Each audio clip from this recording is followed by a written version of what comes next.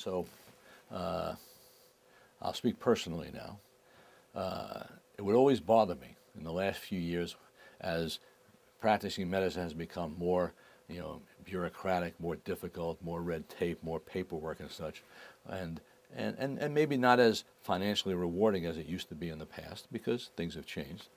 When I hear a colleague say, uh, I would never tell my son or daughter to go to medical school now, all right? It's just too hard. It's just not what it used to be, all right? Well, you know, I, I don't want to seem, you know, uh, too Pollyanna-ish here, but uh, I think being a physician is, a, is one of the greatest things you can do. And so uh, I have a son who is uh, uh, a second-year medical student at Vanderbilt University School of Medicine, and when he when he told me he thought about going to medical school, I thought it was the greatest thing in the world. Right? I encouraged him to do it. He could do whatever he wanted to, but would I ever discourage him from being a physician? No, I never would, because you know all these other things notwithstanding, everything we hear about, from the time you walk into the examining room to talk to a patient to the time you leave, that is a uh, opportunity to be valued and cherished, right? Because the relationship you develop with a patient is very powerful, is very meaningful. And the people who should be physicians should recognize the power of that relationship and that interaction. And if you do that, then you would never even think about, about discouraging somebody from, doing, from being a physician. The, uh, the trends that concern me in orthopedics are probably those that apply to medicine as, as in general. There's, because of the changing nature of healthcare, you have to see so many patients, uh, more patients than before, uh, in order to, you know, basically balance the books and your practices and things, that it takes away from each one of those interactions, each one of those individual interactions. And I think there's something that's lost there. There's a tendency for surgeons to be seen only as procedurists.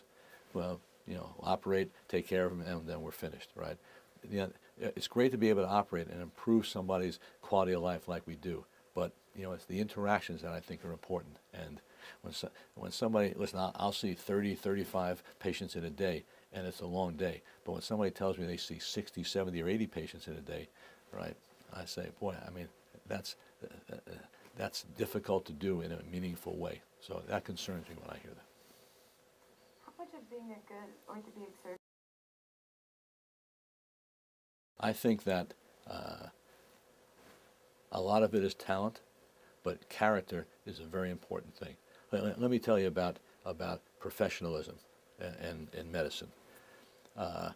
We, can, we can teach individuals. We, have a, uh, one, of the, one of the largest residency programs in the country, 12 residency years, 62 orthopedic, surgeon, orthopedic residents in a five-year program almost without exception, we can train them to know what they need to know to be an orthopedic surgeon, learn how to operate on the important procedures in orthopedic surgeons, but, and we can even teach them a little bit how to interact with patients. However, you can't teach them to have the ethics, right, and the professionalness necessary to be a physician. They need to come to us with the ethics, that their parents have to do that. And we layer onto that the professionalism of being an orthopedic surgeon. If you can be as talented as, you, as, as anybody, but if you're not, if you don't have the professionalism, the interactions with patients, the ability to to uh, understand, you know, the, uh, what you're doing and how, and, and, how to care for patients, how to interact with patients, right? Then you you've not fulfilled the responsibilities you have of being a physician. What does it take to excel as a surgeon?